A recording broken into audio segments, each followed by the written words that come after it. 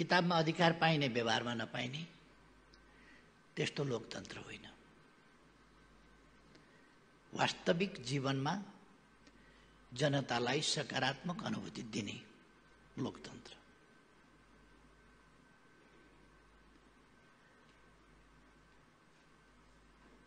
पहिलो कुरा मानिस बाँच्न चाहन्छ। त्यसकारण बाँच्ने कुराका लागि सुरक्षाको प्रत्याभूति। बाँच्नै पाएन भने अरू के गर्छ र? त्यसकारण शान्तिको स्थापना। यसैसँग जोडिएर देख्दा शान्ति नै छ तर प्रकृतिले हामीलाई निशुल्क उपलब्ध गराएको स्वच्छ हावा जो हामीले नै प्रदूषित गराएका छौँ त्यसबाट बाँच्ने अधिकारलाई एकै मुष्टमा होइन क्रमशः खिस्ताबन्दीमा कमजोर पारेको छ र खोसिएको छ। त्यसलाई कसरी फेरि यथास्थानमा फर्काउने?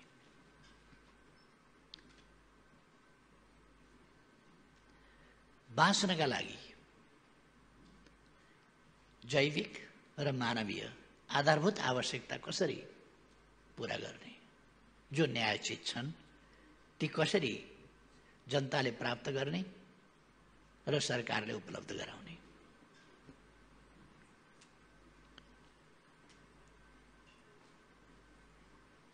अर्को कुरा यसबाहेक हामी यस धरतीमा छौँ यस देशमा छौँ। यस समयमा छौँ। त्यसकारण यस धरतीप्रति हाम्रो उत्तरदायित्व छ। जसको भविष्य सुनिश्चित र सुन्दर होस्। हामी यस देशमा छौँ। यसकारण यस देशप्रति हाम्रो उत्तरदायित्व छ। जसको भविष्य सुरक्षित र सुन्दर होस्। हामी यस समयमा छौँ। अर्को शताब्दीमा हामीले योगदान गर्न सक्दैनौँ। यसै शताब्दीमा यसै बेला गर्नुपर्छ। त्यस कारण यति बेला। यति बेलाका मानिसहरूप्रति र यस बेलाका गरेका कामहरूले भविष्यप्रति सकारात्मक योगदान गर्न सकुन्। त्यस हिसाबले वर्तमानलाई हामी सदुपयोग गरौँ। जीवन। विज्ञानले यो अनन्त समयको श्रृङ्खला समय निर्माण हुनुभन्दा अघि र सम्भवतः समयको अन्त्यभन्दा पछि।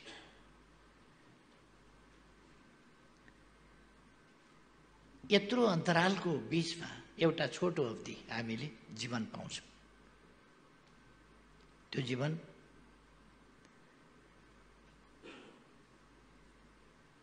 एउटा जीवन हो एक अवधि। यस जीवनलाई हामीले सही ढङ्गले यस धरती यो देश र यहाँका जनता यस धरती र यस देशका मानव जातिप्रतिको कर्तव्य। र त्यसमा पनि हाम्रो अभिभार संसारभरिका लागि हामी कामना गर्न सकौँला परिवर्तन ल्याउन आफ्नो ठाउँबाट सक्छौँ। संसारभरि धान फलाउन हामी सक्दैनौँ होला आफ्नो खेतबाट सक्छौँ। संसारभरि उद्योग स्थापना गर्न सक्दैनौँ होला हाम्रो आफ्नो ठाउँमा सक्छौँ। संसारभरिका सहर सफा गर्न सक्दैनौँ होला आफ्नो सहर प्रदूषित हुन नदिन आफ्नो गाउँ प्रदूषित हुन नदिन वा त्यसलाई सफा राख्न सक्छौँ। यस दिशामा हाम्रो प्रयासहरू केन्द्रित कसरी गर्ने?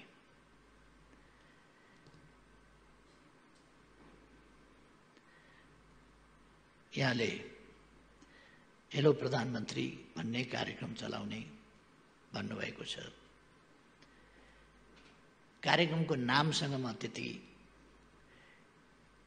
जान चाहन्न। नाम त जे भए पनि हुन्छ। तर हामी काम के गर्छौँ?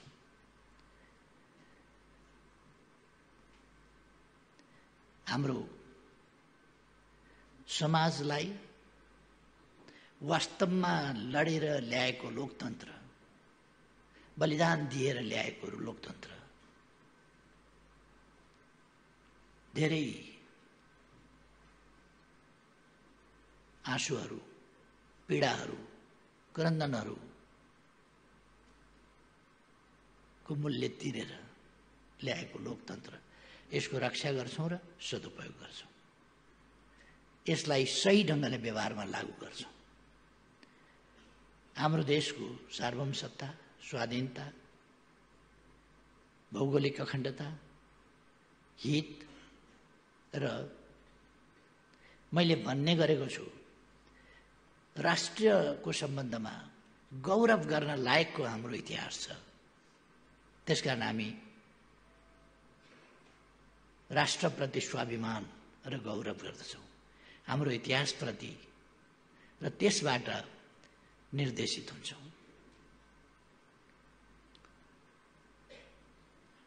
हाम्रो देश हामी देख्छौँ दुनियाँमा आफ्ना साना स्वार्थका लागि मृत्युको व्यापार गर्न तयार हुने। आफ्ना साना स्वार्थका लागि शान्ति खलबल्याउन मानवीय भावनालाई गलत ढङ्गले भड्काउन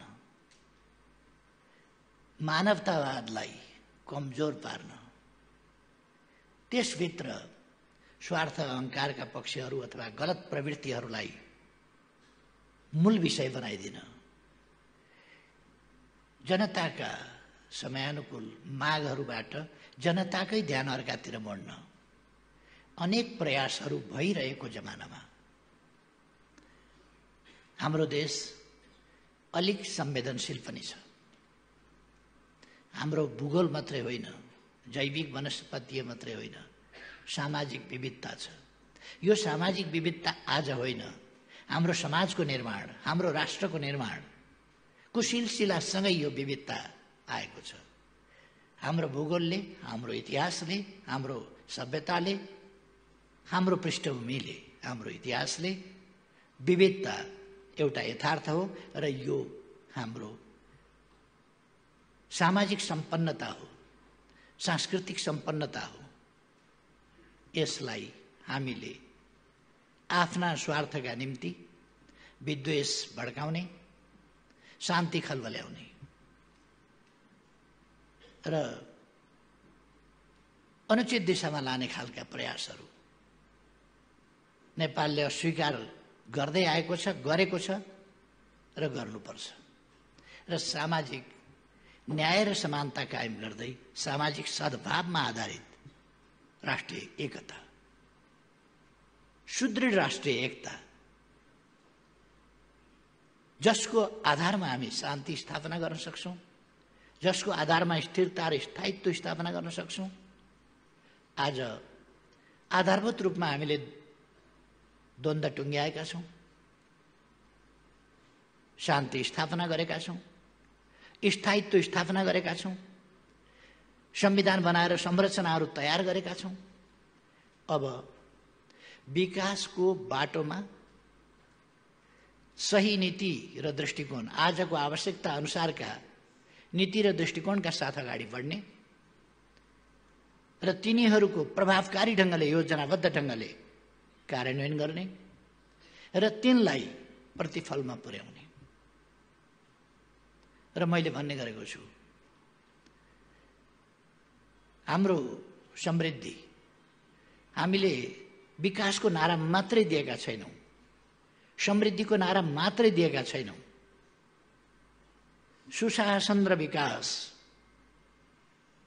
बाटोबाट हामी समृद्ध नेपाल र सुखी नेपालीको हाम्रा उद्देश्य महान उद्देश्य प्राप्ति गर्न अगाडि बढ्छौँ।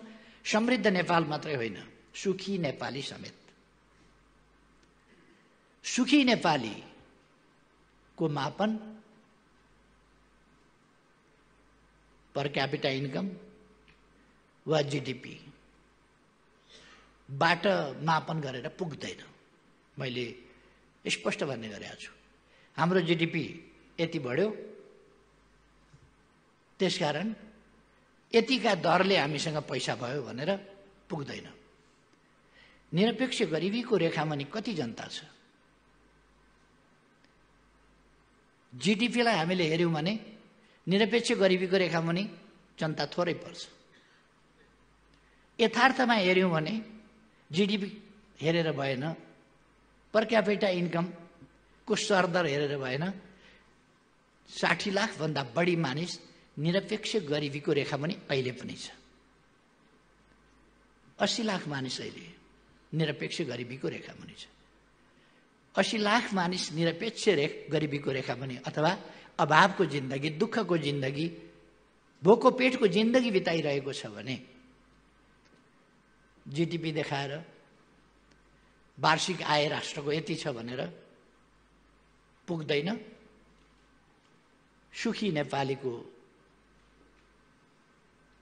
आकाङ्क्षा त्यसबाट पुरा हुँदैन। त्यसलाई पुरा गर्नका निम्ति हामीले सबभन्दा पछाडि परेकोलाई अघिल्लो रोमा ल्याउनु पर्छ हामीले हुनेहरूको खोसेर बाँड्ने भने होइन। बाँडेर हुनेहरूलाई गरिब बनाउने भनेको होइन। नहुनेहरूलाई हुने बनाउने गरिबलाई धनी बनाउने भनेको हो। हामीले दुःख बाँड्ने भनेको होइन। दुःख बाँडेर समृद्ध नेपाल बन्दैन। दुःख बाँडेर सुखी नेपाली हुँदैन। दुखी नै मात्रै हुन्छ। हामीले दुःख बाँड्ने भनेको होइन। हामीले उत्पादन उत्पादकत्व बढाउने र विकास र सुशासनको बाटोबाट समृद्धि हासिल गर्ने र सुख प्राप्त गर्ने। यो बाटो भनेका हौँ। यसर्थ यस बाटोमा। म अहिले हाम्रा विविध क्षेत्रका नीतिहरू भन्न चाहन्न। आवश्यक छैन पनि पछि हामी कुरा गर्दै जानेछौँ। विविध क्षेत्रका हाम्रा नीतिहरू हामीले देशको आवश्यकता समयको माग र हाम्रा विकासका आकाङ्क्षाहरू पुरा गर्ने गरी अगाडि बढाउँछौँ। एउटा कुरा सायद मैले भन्नुपर्छ। लोकतन्त्र अराजकता होइन। लोकतन्त्र एउटा सभ्य सुसंस्कृत समाज हो। लोकतन्त्र आत्मअनुशासित समाज हो। लोकतन्त्र कानुनको परिपालना गर्ने समाज हो। लोकतन्त्र मर्यादामा बस्ने समाज हो। अमर्यादित असभ्य र संकीर्ण साना क्षणिक निजी स्वार्थका लागि जेसुकै पनि भत्काउन तयार हुने। सभ्यताको जग बस्न नदिने सभ्यताको सिँढी भत्काइदिने मर्यादाका कुनै सीमा नराख्ने भत्काउने र जे पनि उचित हुन्छ भने चाहिँ गरेर झुट अरूको मर्यादा अरूको सम्मानमा निराधार हमला गर्ने प्रवृत्तिहरू उचित हुन सक्दैनन्। लोकतन्त्रमा आफ्नो भलाइ आफ्नो अधिकारको प्रयोग गरिरहँदा वा भलाइ खोजिरहँदा अरूको भलाइ र अधिकारको हनन नहोस् भन्ने कुरा ध्यान दिनुपर्छ। यसकारण लोकतन्त्र भनेको छाडातन्त्र होइन। लोकतन्त्र अनुशासित प्रणाली हो। त्यो हामीले स्थापित गर्नुपर्छ। लोकतन्त्र एउटा सभ्य प्रणाली हो। हामी हरेकले स्थापित गर्नुपर्छ। त्यो म त आग्रह गर्न चाहन्छु। त्यो हामी आफैले बिना अरूको दबाव स्वेच्छाले मानवीय सामाजिक प्रबन्धहरू र सभ्यताका स्व कानुनहरू हामीलाई थाहा छ नि के गर्नुहुन्छ के गर्नु हुँदैन ती आफैले परिपालना गर्नुपर्छ। आफूलाई मन नपर्ने कुरा अरूले पनि मन पराउँदैन। भन्ने कुरा बुझ्ने र आफूलाई मन नपर्ने कुरा अरूका निम्ति पनि स्वीकार्य हुँदैन भन्ने बुझेर कार्यान्वयन गर्ने यी कामहरू हामीले गऱ्यौँ भने हामी एउटा सभ्य समाज निर्माण गर्न सक्छौँ। कसैले लहरमा मेरो त सिद्धान्त भनेर यो पवित्र सिद्धान्त म छोड्न सक्दिनँ भनेर समाजमा अकारण असम्बन्धित मान्छेहरूलाई या कसैलाई पनि कानुन हातमा लिने दुःख दिने गैर कानुनी काम गर्ने कुरा लोकतान्त्रिक समाजको अभ्यासभित्र पर्दैन। त्यसकारण यतापट्टि सिङ्गै समाज सजग हुन जरुरी छ। मिडिया जगत सूचना शिक्षा र मनोरञ्जन। यो तिनटै पक्षमा जिम्मेवार भूमिकामा प्रस्तुत हुन जरुरी छ। मैले यस्तो हेर्छु। आफ्नो स्वार्थका लागि कुनै पनि लान्छना लगाउन आरोपित गर्न अपमान गर्न कसैलाई केही नहुने र अहिले त सजिलो छ। नकली आइडी भन्यो नकली आइडीबाट जथाभावी लेख्यो यस्ता कुराहरूप्रति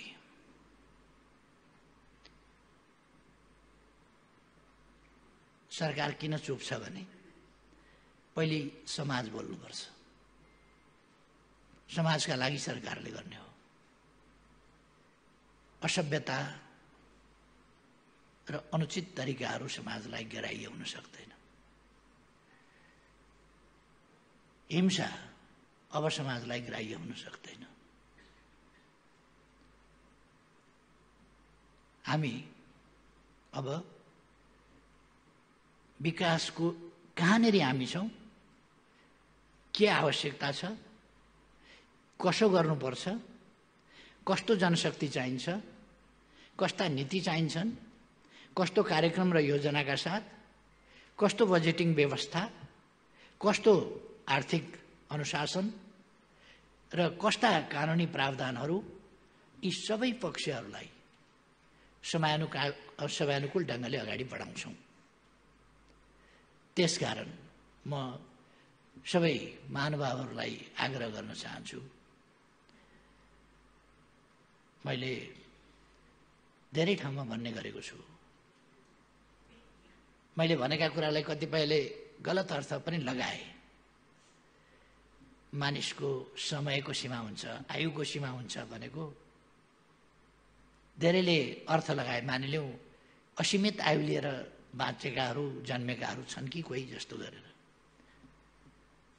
हरेकसँग आयुको समयको सीमा हुन्छ। क्षमता र सामर्थ्यको पनि सीमा हुन्छ ज्ञानको पनि सीमा हुन्छ तर सम्पूर्ण इमान्दारिताका साथ काम गर्न सकिन्छ र मैले भन्ने गरेको छु हामीसँग सबै कुराका सीमा छन् तर सम्पूर्ण इमानका साथ देशप्रति जनताप्रति मानव जातिप्रति यिनको हितप्रति यिनको सुखप्रति सम्पूर्ण इमान्दारिताका साथ काम गर्ने यस सरकारको प्रतिबद्धता हो र प्रधानमन्त्रीको हिसाबमा मेरो प्रतिबद्धता हो। र मैले नेतृत्व गरिरहेको मन्त्री परिषद र सरकारको प्रतिबद्धता हो। यस बाटोमा सरकार हिँड्न प्रारम्भ गरिसकेका छ। यी कुराहरूलाई हामी यस कार्यक्रम मार्फत यहाँले पन्ध्र दिनको भन्नुभएको छ र थप पनि भन्नुभएको छ यसलाई बढाउन पनि सकिन्छ। हामी जनतालाई सोझै प्रधानमन्त्रीसँग संवाद गर्न जिज्ञासा राख्न प्रश्न गर्न समस्या राख्न र तिनको समाधान खोज्न। यसबाट आह्वान पनि गर्छौँ। र त्यसको समाधान पनि हामी खोज्छौँ। कुनै पनि प्रश्न व्यवहारिसे हुँदैनन्। कुनै पनि समस्या निरुत्तरित हुँदैन। समाधान वर्तमान सामर्थ्यले दिन्छ कि दिँदैन त्यो हामी खुलस्त भन्छौँ। तर निरुत्तरित हुँदैन। यस कार्यक्रमको विशेषता त्यही हो। मैले अगाडि भनेका कुराहरूमा कतिपय मानिसहरूले त्यसलाई नबुझेर या कतिपयले बुझेर उद्देश्यमूलक ढङ्गले तोडमरोड गर्ने कोसिस गरेका छन्। त्यसमा बहस विवादमा जान चाहन्न म नबिउजिएकोलाई बिउजाउन सकिन्छ। बिउजिएर निदायको नक्कल गर्नेलाई बिउजाउन खोज्नु बेकार छ। कतिपय मान्छेहरू भन्दा भन्दै थाक्नेछन्। के के कुरामा थाके? हामी यस प्रोग्रामबाट पनि हेर्दै जानेछौँ। के के कुरामा मान्छेहरू थाक्दै गए?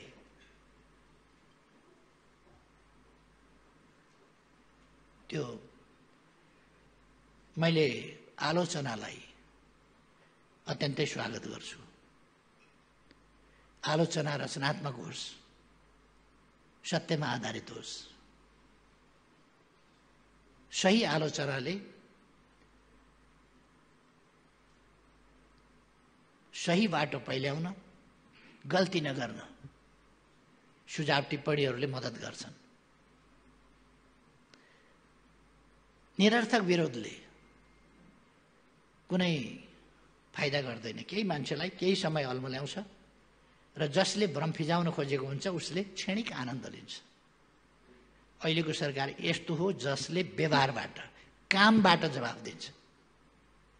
शाब्दिक जवाफको आवश्यकता ठान्दैन त्यति। त्यसकारण हामी कामबाट परिणामबाट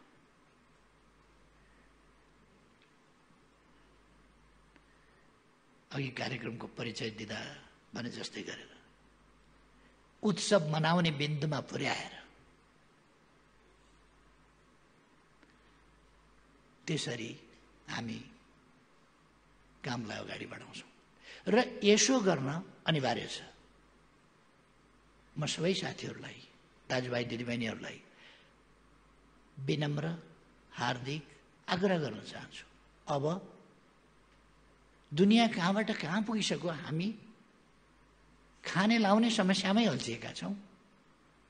यति सुन्दर यति उर्वर धरतीमा। अघि आनी छोइङले गाउनुभयो। जुन मन्त्रहरू उच्चारण गर्नुभयो। ती मन्त्रहरू हजारौँ वर्ष अघि निर्माण भएका। आज होइन। त्यस्ता मन्त्रहरू। यसको अर्थ हो त्यो ज्ञान। त्यो दृष्टिकोण। यो वा त्यो दर्शन। हजारौँ वर्ष अगाडिदेखि हामीसँग छ। त्यस देशका ती विद्वान पुर्खाका हामी सन्तान अब पनि गरिब भइरहने बाटो हिँड्न सकिँदैन। हामी पर्खिन सक्दैनौँ। त्यसकारण हामीसँग विकास गर्नुको अर्को विकल्प छैन? सुशासन दिनुको अर्को विकल्प छैन? यसका निम्ति भ्रष्टाचार रोक्नुको विकल्प छैन? यसर्थ